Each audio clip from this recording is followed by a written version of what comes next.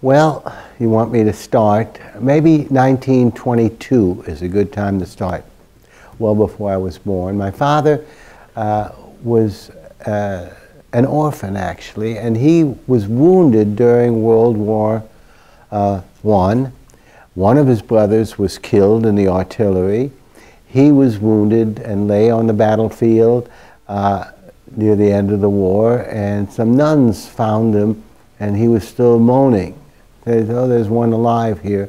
And they took him in and, uh, and uh, cured him uh, in there at the monastery. How, how old was he and what was his name?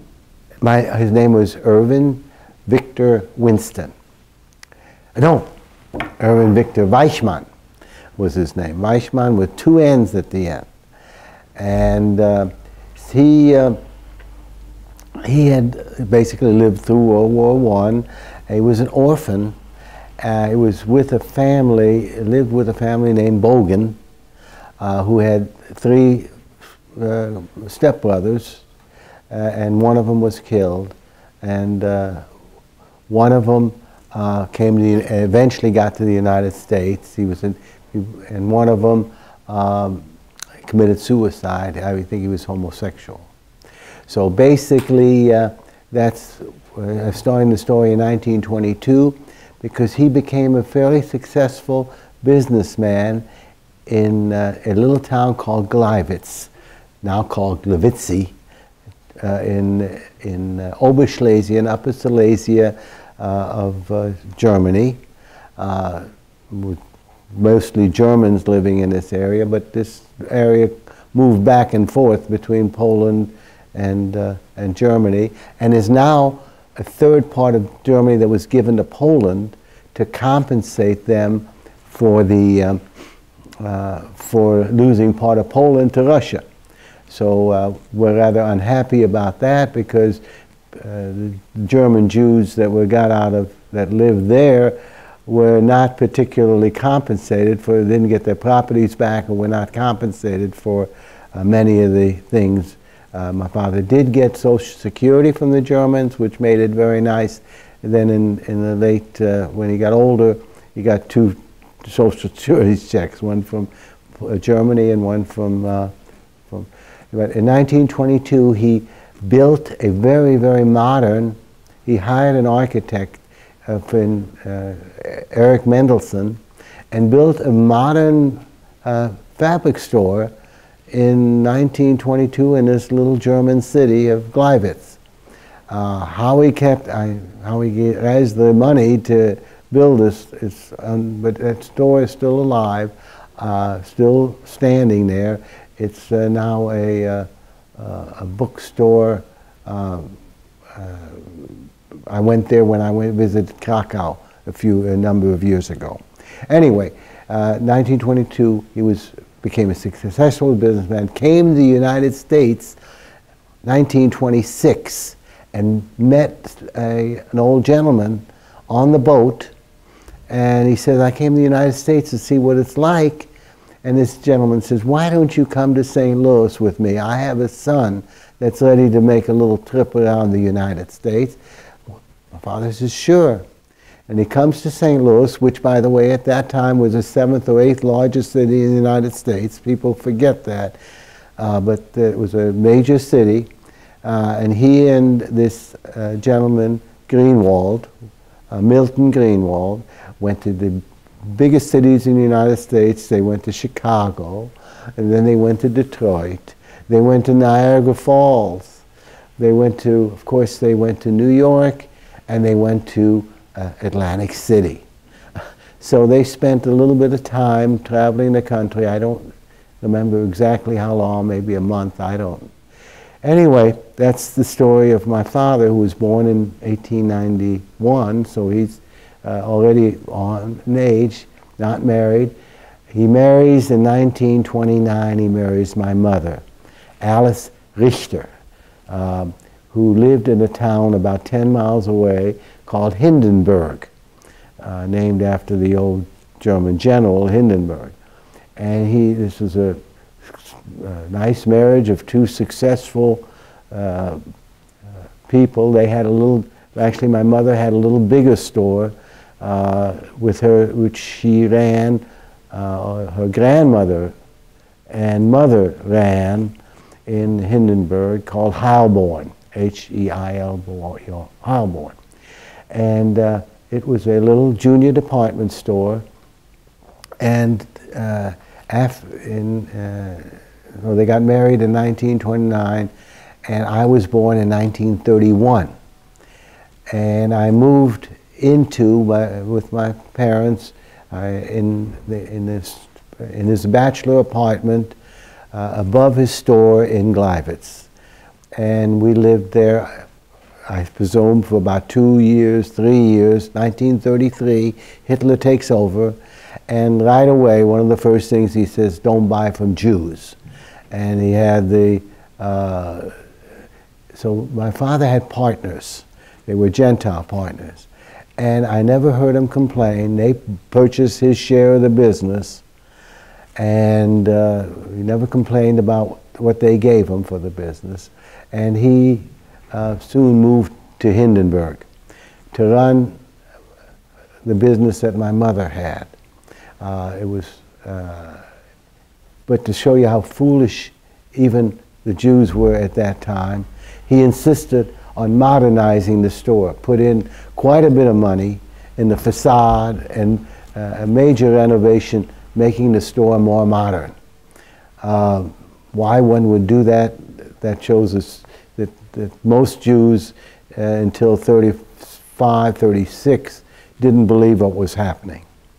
And uh, I remember moving into an apartment in, uh, in, in uh, Hindenburg and uh, having a garden plot and so on, sandbox. everybody that lived in this apartment house had a oh, I'd say an area by 25 by 24 for, for their, to grow something if they wanted it for their kids. Uh, eventually we moved in above the store in uh, Hindenburg. I'll try and get you, well, a picture of that. Do you edit some of this? Yes, sure. Good, okay. Um, uh, anyway, um, we lived there a, no, a number of years. My, my, mother did have a brother, but he had already gone to Australia with his family, one son and a wife. And, uh, I, and, and, we lived, and my mother now had a second child, uh, my sister Vera. And my sister Vera married a Dr. Prop here in St. Louis. Uh, we, we moved in 1938, we finally got to St. Louis. We got to, we, we packed, I still remember packing uh, goods of all sorts because that was still allowed. Early 38, you could take just about everything. As I remember, the restriction was women could only have one diamond ring and uh, one fur coat. Uh, and, uh, but other, other than that, we came over here with uh, enough clothing to last two or three or four years. We came over with a house full of furniture, a new refrigerator, a stove, uh, you know, that, everything that worked in the United States, including a Mercedes automobile. A small Mercedes car came with us too in the large crates. So that was still allowed. Money uh, was still allowed a certain amount. I am guessing almost $10,000 was allowed uh, to be taken out. And uh, it took us quite a while to get to, the, to St. Louis. We knew we were going here. We, I remember once looking at the tickets uh, were on a long stub uh, that went to the floor because we first went to England. Then from England we flew to Paris. I flew in an airplane, uh, very disappointed because I couldn't see the, the ground. Uh, it was foggy over the English Channel. Then we took a, a train to Le Havre, where we got on uh, the Cunard White Star Line Georgic, uh, traveling first class. I remember I had my seventh birthday on the plane, on the on the ship, and uh, I had a little. The, the, waiter gave me a little doll, uh, like a, a little wooden doll uh, then I was quite happy. And when I got to New York, we met uh, Milton Uncle Milton and got on a train and came to St. Louis. Lived at the Parkage Hotel, motel, hotel, uh, no, it's really an apartment uh, uh, hotel, right on uh, uh, Forest Park in Euclid. And we lived there for about a month looking for a house. And actually, maybe our, uh, the fact that we had a stove and had a refrigerator sort of limited what we were, what we were looking for. But uh, we found a, uh, a, a, fairly large apartment with uh, four or five rooms in it uh, on Waterman Avenue, 5200 block of Waterman. Uh, so, uh, and my father was determined. He did not want to go to work for anybody else. And for a year we lived on what he was, what we brought over here, uh, less what he had to invest. And found a partner that was also interested, another Jewish man, a Mr. Rosen, who invested in a in a business, a fabric business, on Maryland Avenue near the Park to the Park Plaza, a very exclusive new area in St. Louis. And uh, the store was, everybody warned him against this. They says, nobody buys fabrics in this country. Uh, they buy ready-to-made clothes.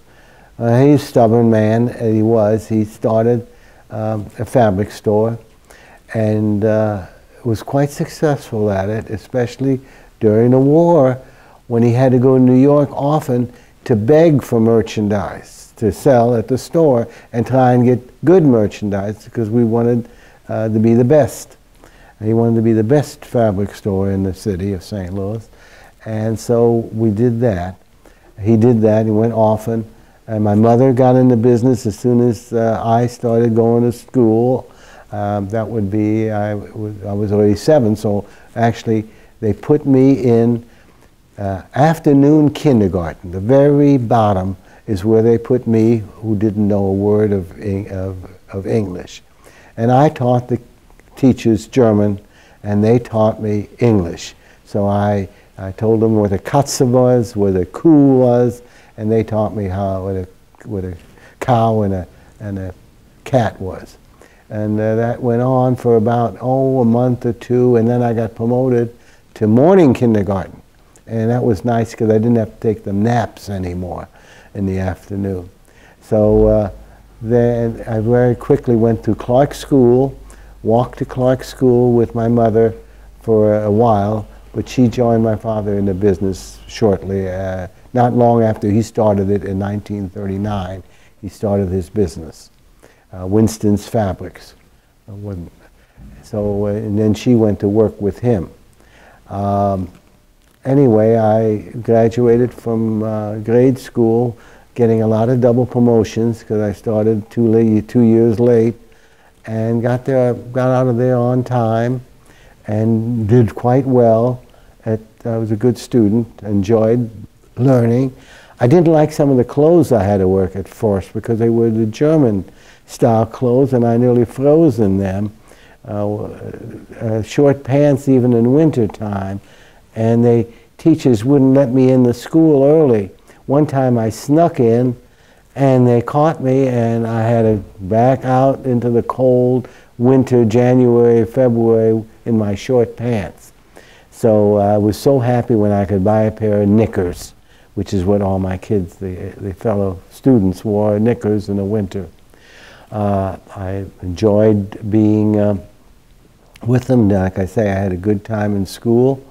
Um, I went, started going high school and also, uh, which was Soldan, which was right next door. And again, I had to walk, oh, six, seven blocks all the way from Waterman to, uh, to uh, where the Clark and Soldan were. And uh, meanwhile, the fortunate thing also was the Y. Y-M-H-A-Y-M-W, Y-W-H-A was on the way home right on uh, Union Boulevard where the schools were, and I lived right near Union Boulevard. So for a long time, every night I'd go, every afternoon I'd go to the Y to play basketball or softball or, or so on. They were very nice. They gave us They gave me a, a discount membership at the Federation, at the Y, Jewish Federation. I guess it was called that at that time, or the Y, I don't remember. But um, anyway, I lived there.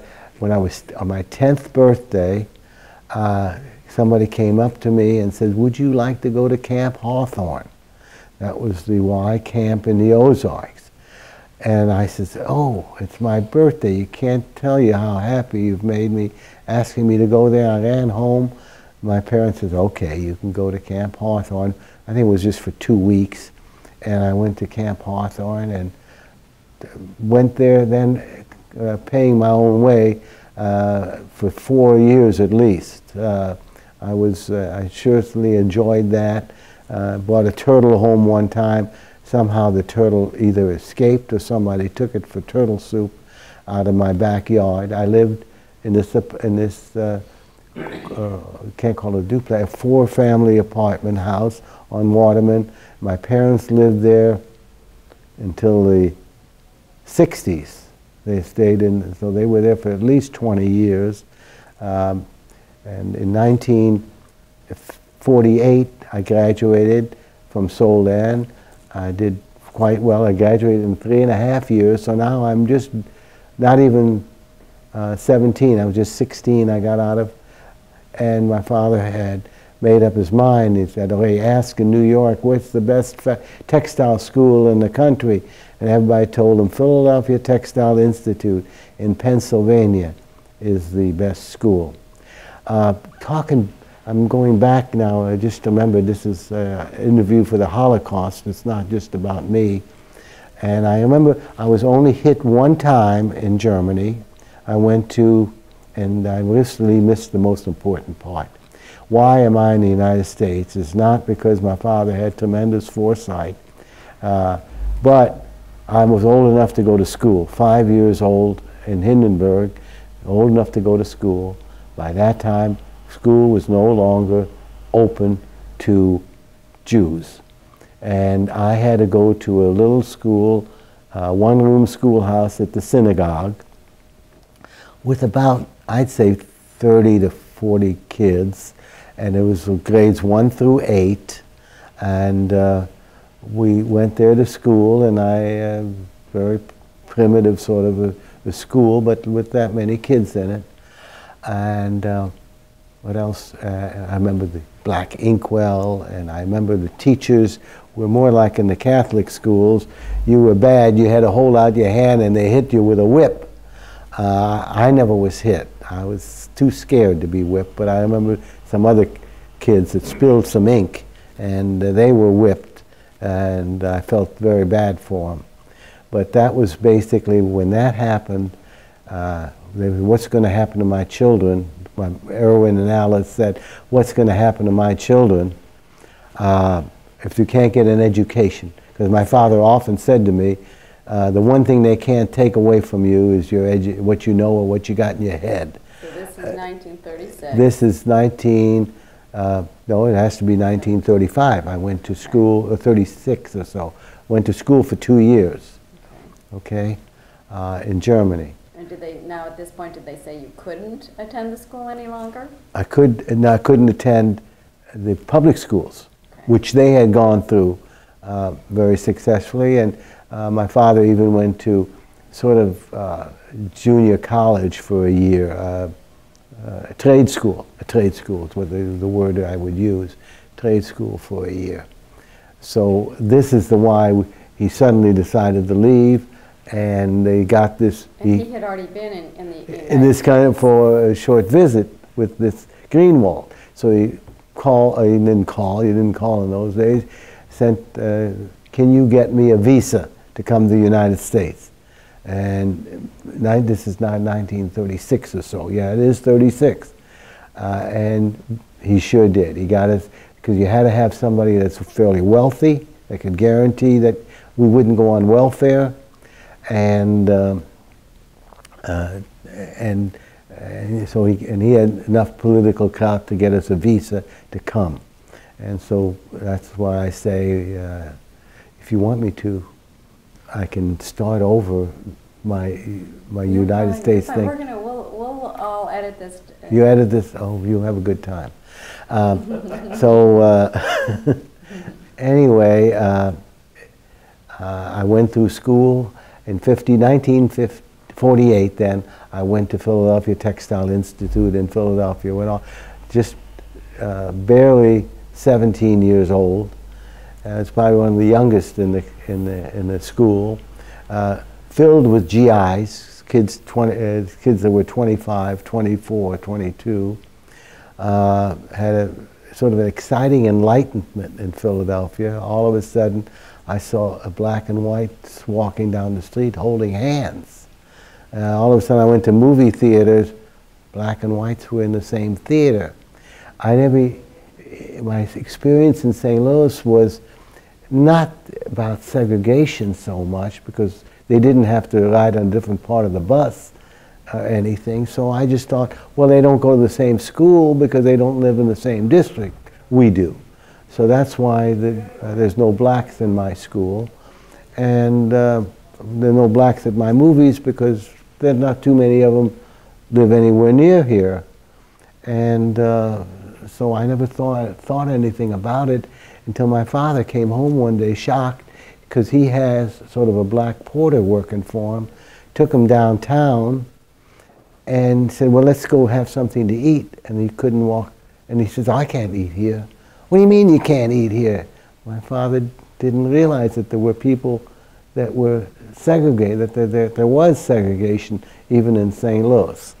So uh, um, that sort of talks about that and the fact I graduated from uh, Philadelphia Textile nicely. So ask me some questions. Okay, so I'm going to ask you some questions, okay?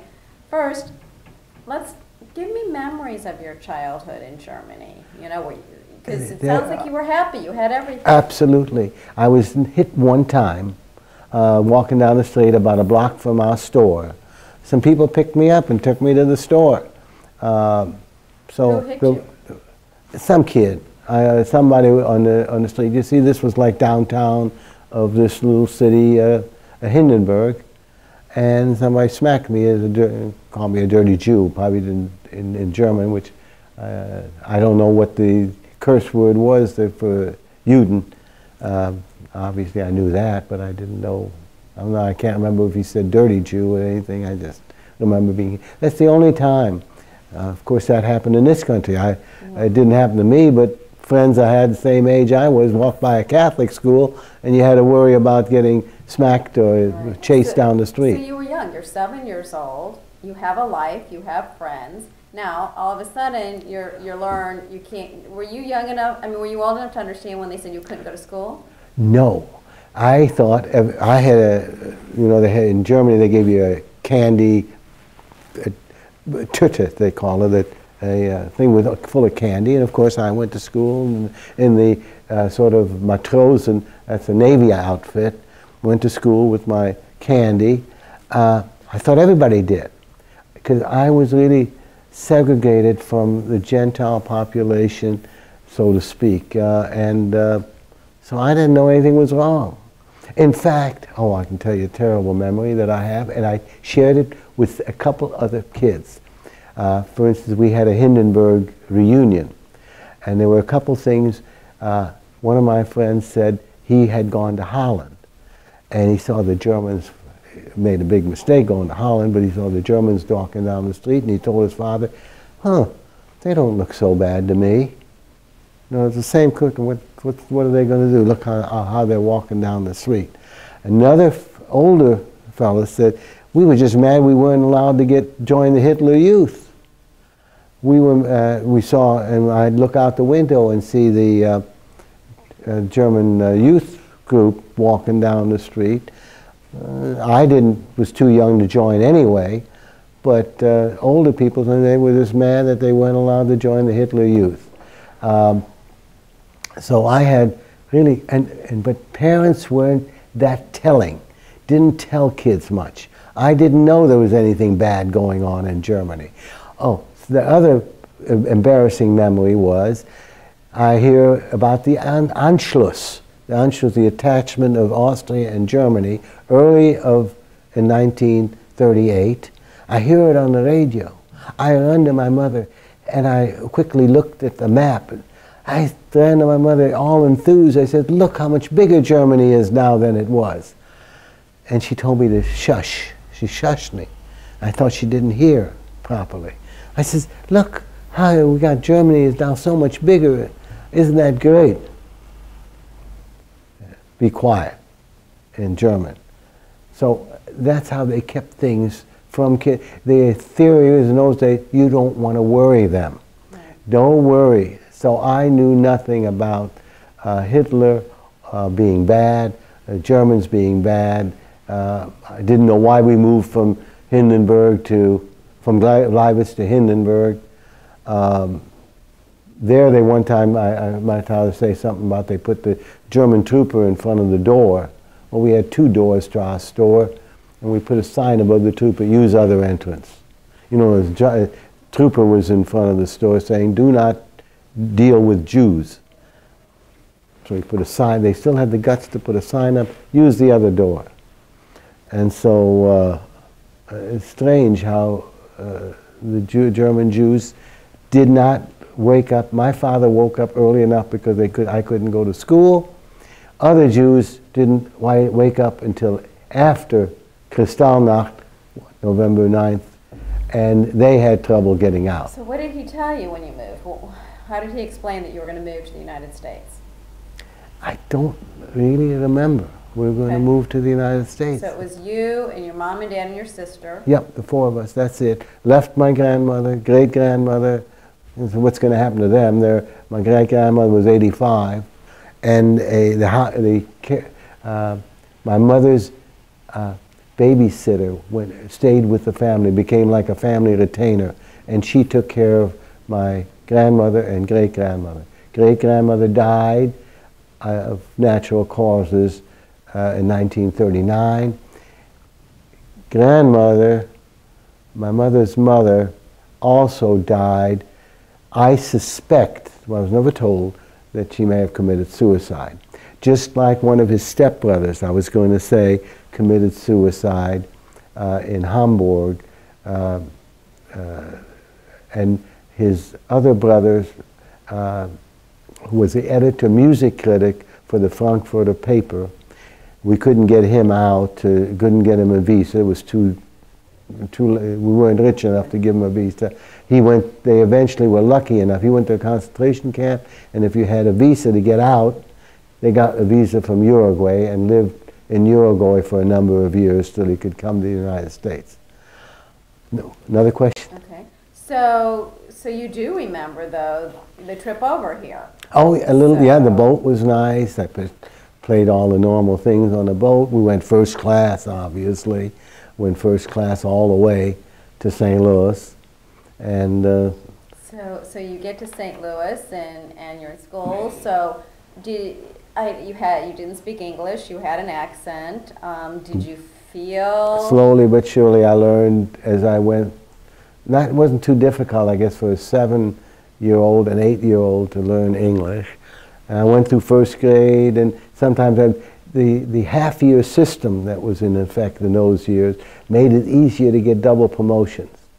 And so to, to skip 13 weeks of school or 15 weeks of school isn't that hard. And I'd be at the top of, near the top of the class and they'd skip it. All of a sudden I'd skip a half a year. How did your parents adjust to being here? Well, they had to learn English. They had to run a business. My father bought out his partner in a year or two. Uh, partner got tired of it, and so he bought him out. Uh, we were making pretty good money uh, in those days. Um, he would, my parents worked seven days a week. My mother did the payroll on Sunday. My father went into the store to straighten up uh, the store and do advertising. My father believed in merchandise and advertising and got him into trouble at various times. But uh, that's sort of. Uh, and, and, so then, as you got older, the, did they explain to you what, what had happened? oh well, life? how did I learn? Well, then I sort of learned uh, whether it's at school, whether it's at the Y, uh, whether it was what they would. Sure, they we we talked about it because we knew grandmother and grand grandmother and great grandmother. I still remember all of certain things about them. We used to have Friday night at their apartment. And-. We had a Friday Shabbat dinner. She, they had a lot, I remember that apartment sort of well. I remember they had, she had a lot of uh, birds, and they were they wouldn't face each other because they wouldn't talk facing to each other, just piled sort of up in little cages. Uh, also, my great grandmother was getting to be 84, 85. She had a horn that you had to yell into if you wanted to talk to her, and so I she, she uh, go around to her this side and, and yell into her horn if I wanted to talk to her. But I had a very normal upbringing, uh, upper class, certainly an upper class family um, in, in Hindenburg. And did you go to shul? Did you go to synagogue or temple? I remember uh, going to Hindu, a synagogue, which I think may have been, I don't know whether they call it reformed or, or what, it was, it was a modern, but I still remember, the holiday I remember the most was with the lula, uh, Purim. Purim. Yeah, so I remember that one the most. Uh, I didn't go often, I don't believe. I don't think I went there often until I had to go during the daytime to go, and I walked to the synagogue. It wasn't that far away. In those days, uh, it was probably no, f- uh, but uh, and that, that's why I said one time I was uh, accosted on the street.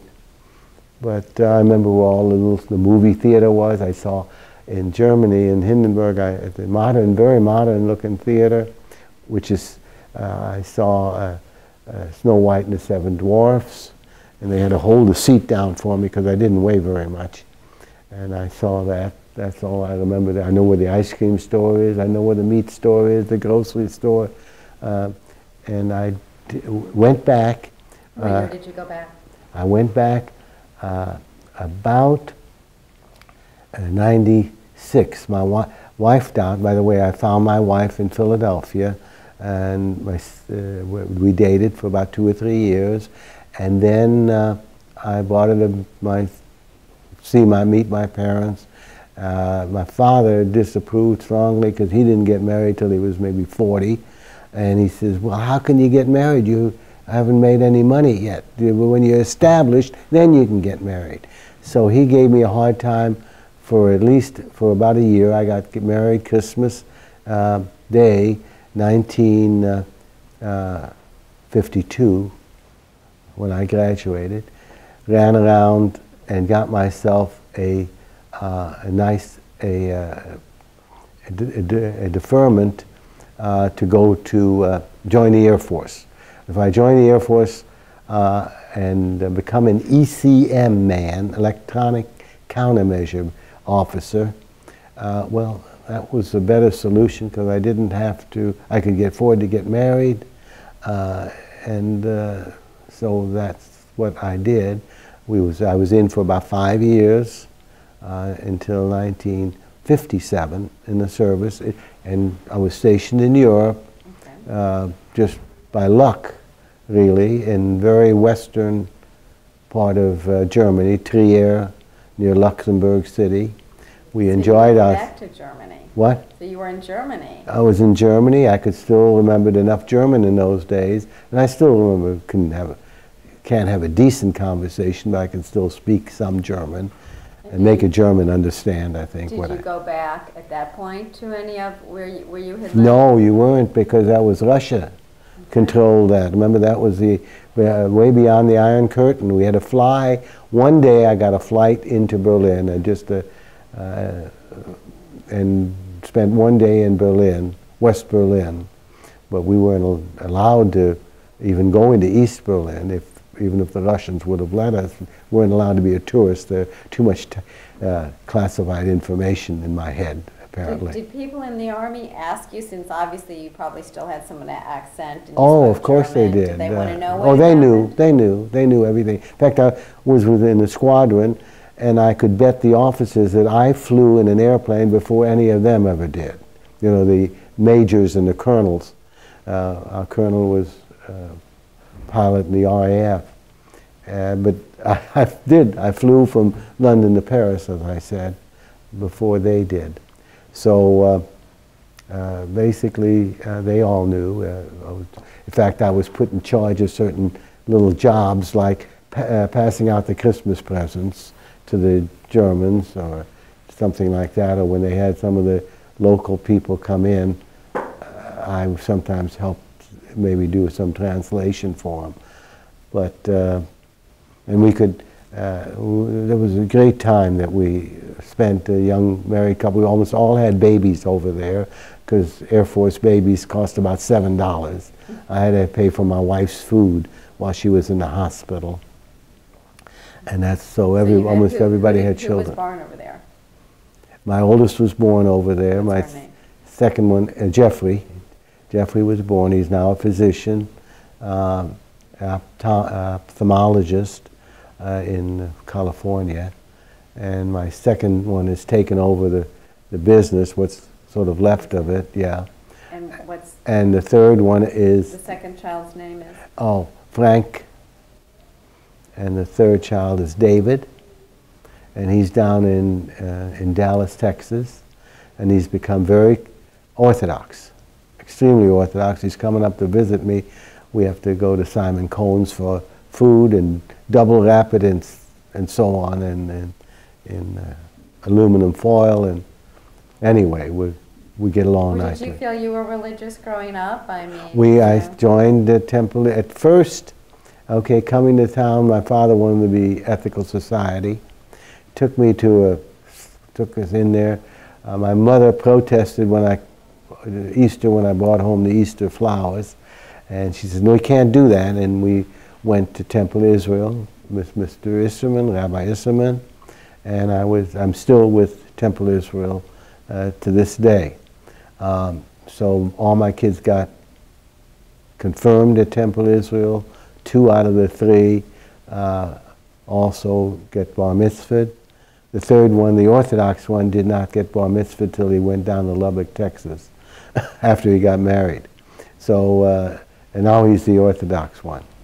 But uh, basically, that's sort of the history of my family. My parents died in the 70s. My father died in 75, uh, and my mother died in 73, I think it is, 72. did they ever talk to you about the injustice that was done, that they had to leave their home? Well, no, I, well, sure, uh, we, we knew that, that it was uh, wrong, that we uh, had had to leave, you know, all, all our possessions except for the ones that we were able to move out.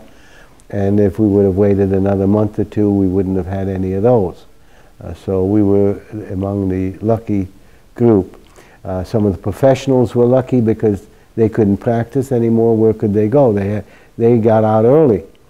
And so basically, uh, a good percentage of the Germans, you know, we were only uh, less than 1% of the German population, uh, maybe five, seven, eight hundred thousand.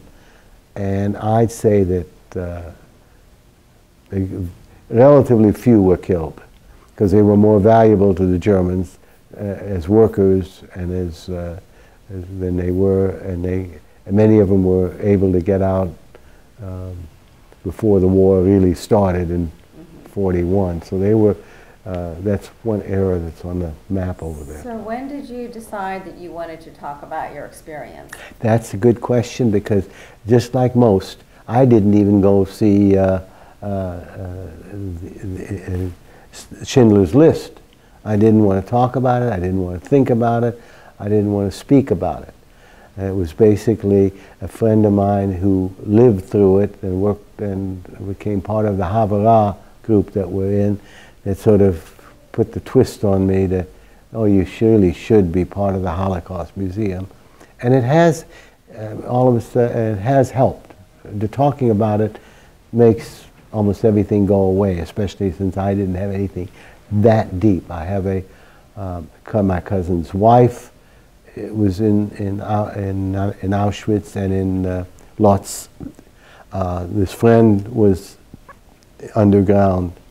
This, uh, so uh, I now know a lot of the people. But uh, that's, that's about when I, so I really didn't do this till about 10, till about 10, 11 years ago. I did go volunteers for Israel. I went with my uh, with with with my friend uh, uh, to Israel to work on a artillery base, packing. You know, I did that once. I went to uh, on a trip of Eastern Europe once. When and Krakow is very close to Hindenburg, 60 miles, maybe 100 kilometers. So I had made arrangements to get a car in uh, in Krakow and and drive to Hindenburg and to drive to Gleiwitz. My uh, those cities were not damaged very much during the war at all because it was too far for the Allies to fly and bomb. And there wasn't maybe that much strategic stuff there, the coal mines, coal mining maybe, and so on. And the Russians, by the time they got there, the war was essentially over, so they didn't burn and pillage.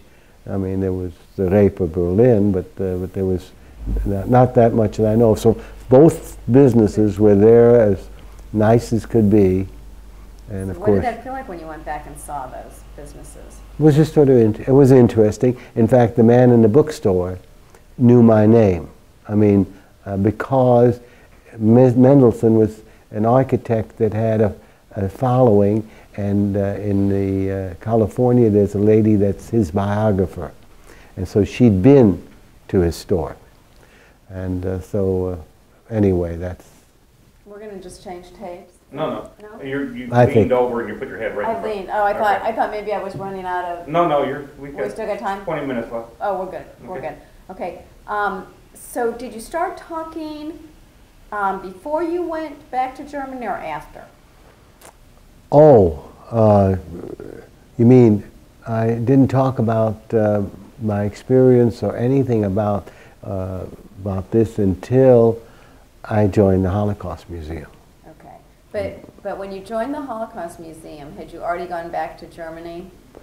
Yes, I went Okay. on this uh, on this one trip. Uh, Okay. So to, you've been thinking about your your heritage. oh yes, yes, yes. And now I sort of I talk about it during the. Okay. So tell me why you do the tours. Why you became a docent. Well, I, I, last time I that, that was because of Linda McFessel and Jerry Koenig. They're the two that work here, and they they just sort of pushed me into it. I'm easily pushed into things, and so we came, and uh, we've contributed um, quite a bit to the to the Holocaust Museum, and. Uh, again became interested in it, and it really has been therapeutic to the extent that uh, I don't think that much about the past anymore, about there ever, you know. I think I may have thought more about it when I was young. Okay. So tell me again. Um, how important it's been for you to get involved with the museum. Well, that's what I say. It was nice for me uh, psychologically, and uh, no longer pains me. I went to see The Pianist, for instance, which was more brutal probably than the uh, uh, Schindler's List, and sat through that with, with without being too torn to pieces, because it, you know, that's what well, happened. Don't move in your chair, but tell me, tell me how coming to the St. Louis Holocaust Museum has helped you deal with everything. Well, I've been sort of, I've been uh, proud of being able to help to somehow spread the story uh, of what happened in those days and perhaps help educate people like I like we did this morning that probably I didn't ask the question this morning for instance did you ever know a Jew? Because that class from Cahokia you know I don't suspect that they ever met a Jew uh, in the recent years. I, I feel sort of bad about the fact not only that um, about the fact that the Jewish population in the small cities is almost decimated. Uh, the, the graveyards are, uh, you know, not not being used anymore, I, uh, and that uh, uh, very few people know about uh, about Jews or very much about them. There's, I guess, good and bad about that. But so this sort of fills the gap of, and the, the uh, we're very happy about the trunk program which we contributed. My sister wrote a couple of books, a little book, small books for young people. One is a the first one she wrote, and that one we distribute uh, at the Holocaust Museum in the trunk showing is that where, uh, when the soldiers were gone. It's about a friend of hers in, in Albany, New York, who was given away uh, by his parents to a farm couple. Uh, the farm couple uh, taught them, taught him to jump into the uh, into the clothes hamper whenever a German came into to the, to the house, and basically he didn't know he was. He changed his name to Hans, and he didn't know he was Jewish until one day, uh, at the end of the war, a couple come to the house, and the farmer calls him in. He says, uh, "This is your mother and father. You're going away with them," and he and he cried and he says, "Well, you're giving me away." and uh, and they let, let him take the cat with them, and they went off to uh, Amsterdam, and he. Uh, uh and uh, so he then got to Albany, New York. And tell, tell me why you like to talk to the kids.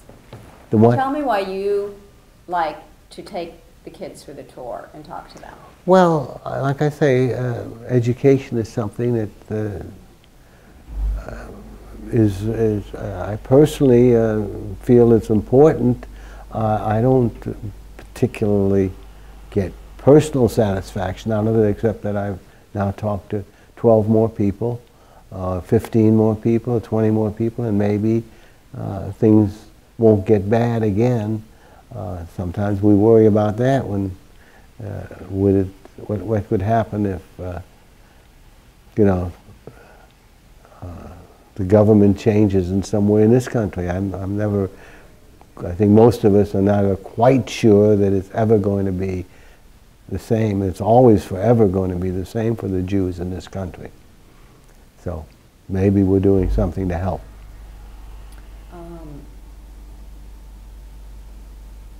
so education is really important to you. Oh, absolutely, yes. And what lessons do you hope to teach these children about the Holocaust?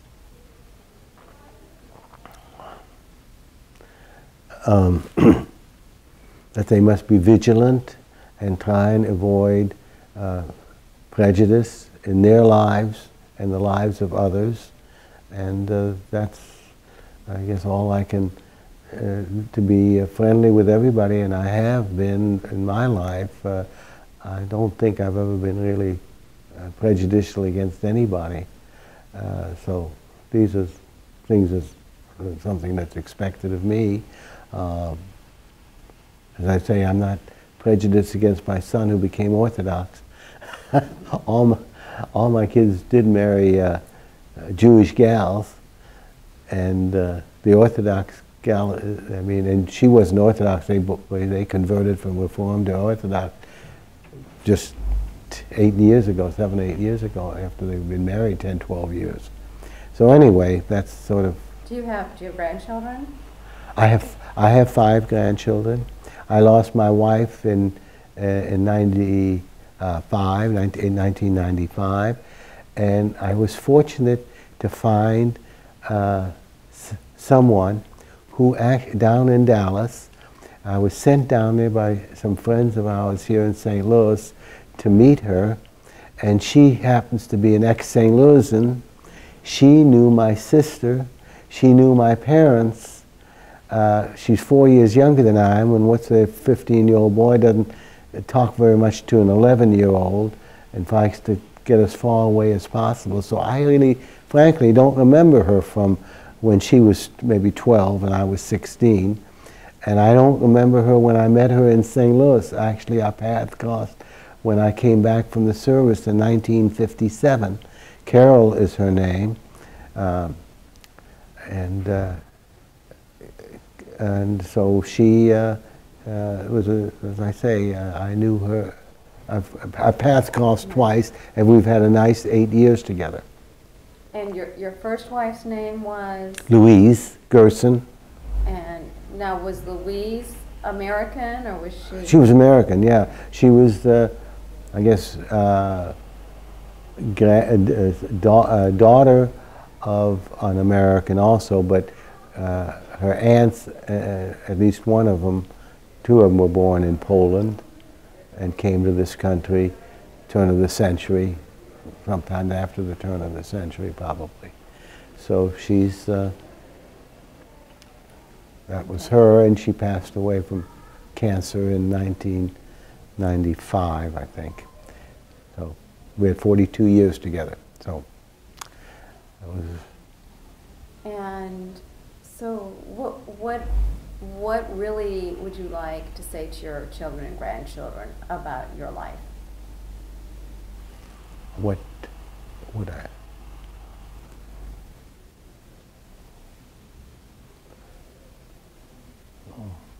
Well, uh, one of them is graduating from college.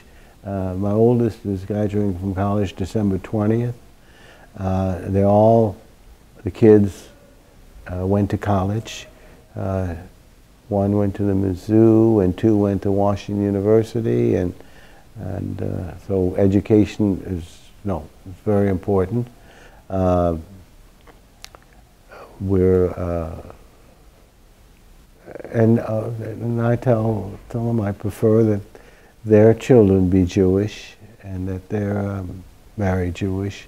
I realize now that that's not always possible, but uh, educating them, uh, ed- educating the grandchildren to be Jewish is is I think good enough, and actually it's turning the country around to, to a great extent. All of a sudden, the population of us Jews is not going down because we are making plenty of converts. And uh, look in the Holocaust Museum. There's uh, is an example. Do you feel that that's an important lesson? I think uh, being Jewish is good, and uh, I, I enjoy it. I think uh, uh, I think it's important to be part of the Jewish community.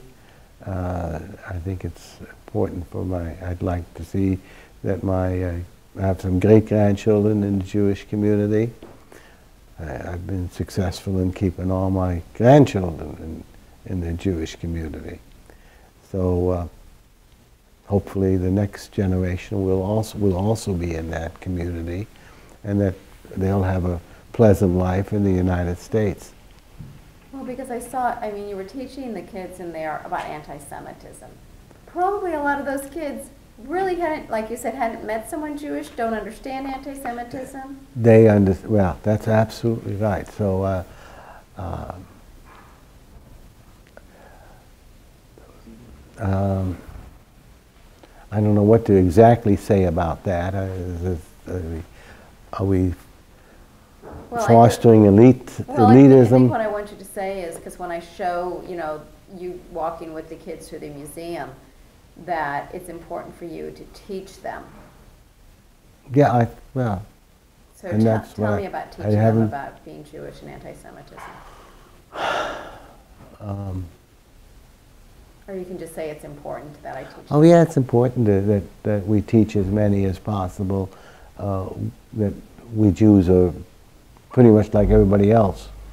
Uh, One of the things I did tell them, uh, when we were looking at the Torah, for instance, um, I did tell them that Jews believe in education, and that that is was, was they and they listened to that. I got a kick out of that. That uh, that Jews went to school, uh, were educated. At least the men were pretty well educated. Always, they always knew at least how to read that the the Torah. And uh, so education has always been important to my father. I knew it was important to my father, and we always watched the grades of the kids and the grades of grandchildren, and uh, and we stress uh, education, and so we I try and pass that on when I have a class like uh, all black kids here that I African Americans that that uh, education and getting their education is probably the most important thing. And the fact that uh, I repeated to them that my father said education is something you can never lose, never be taken away from you. So, so you feel that having the St. Louis Holocaust Museum is important? Oh, I've gone to Holocaust museums all over the country now when we travel. We in California, in uh, Dallas, in Houston. Houston has a very nice one too. Dallas doesn't. Uh, New York, or we went to the Washington one not that many years ago. Uh, but this is actually a nice compact. I, I, like this one as well as any that I've seen um, because it's compact and tells a, a, a, just about the whole story very, very well. And sometimes I end up talking more about one thing than the other, but uh, because we basically have an hour. And now that the tapes exist, I think that's very good too. I quite often come on Sunday because I like to just talk in general to people and I get them the tape. If they, they don't want the tape, I might follow them around a little bit and tell them something. So, uh, but I just am amazed at the number of uh, people that aren't Jewish that come here, especially on Sunday morning, Sunday afternoon, I should say, uh, and uh, can sometimes the, the husband, or sometimes they stay there for two or three hours, so that they read almost everything on the wall. Um, I could make docents out of them. yeah, so okay. do you get gratification? Oh, uh, yeah, I told you, I sort of like coming on Sunday, just talking to older people and contemporaries of mine, and maybe their kids that are with them. So uh, anyway, I enjoy doing that. But I get satisfaction out of doing anything uh, out of that. So, um, okay. so thank you very much okay. for having anything me. Else you wanna? I, I haven't. I can't think of anything else. But you poor people are going to have such a tough time editing no, this no, thing. It'll be fine. Because I had it jumped around so much. That's okay. No, I think by, by you finally got me to just, say just, just about everything. Thing. I think okay. what I just want to say is the fact that that and I want you to mention how you were lucky that you came here with your mom and dad and your sister, you, your first wife, your three children, your second wife, your grandchildren. So just kind of do a summary yeah. for me. Well, I'm no question about it. I've been lucky to be in this country. Uh, like I say, I've had uh, first wife I found in Philadelphia. We've had three children, uh, and uh, they all been educated, all married, uh, nice, nice uh, daughter-in-laws, and now I have five grandchildren. My wife, my my second wife, has also has five grandchildren. So between us, we have ten grandchildren, um, and anyway, we enjoy uh, uh, the success we've had in this country, not only uh, in, in, living here, but also in, in, in building uh, roots and building, uh, uh, for instance, I'll tell you one more thing, if you put it in, it don't it make any difference. I Recently went to a, a, re a reunion of my 42nd TAC Recon Squadron that I was with in Germany. And I was very lucky there because it was a new squadron, all young officers, about 100 young officers, pilots, ECM people, and, uh, and uh, weather people, all coming together about the same time, 19, we didn't even have airplanes at that time, in 1954. Uh, uh, we were there about three or four years, and, and uh, I chose to get out. Many of them stayed in, and we started the mailing list when I got my computer. I started the mailing list, and so uh, this uh, resulted in a, a biannual um, reunion, and so I just came back off one, down to fewer people now. There are, some them passed away, some are invalids or can't travel anymore, but it was it's sort of nice to have built another family and it was nice to build base, uh, basically a nice Gentile family. uh, one of one of the guys lived in Illinois, and he's coming comes to St. Louis about once a year because his granddaughter is going to Webster and music. So anyway, thank you very much for having That's me. I good. appreciate Oh, it. Yeah. That's great, thank you.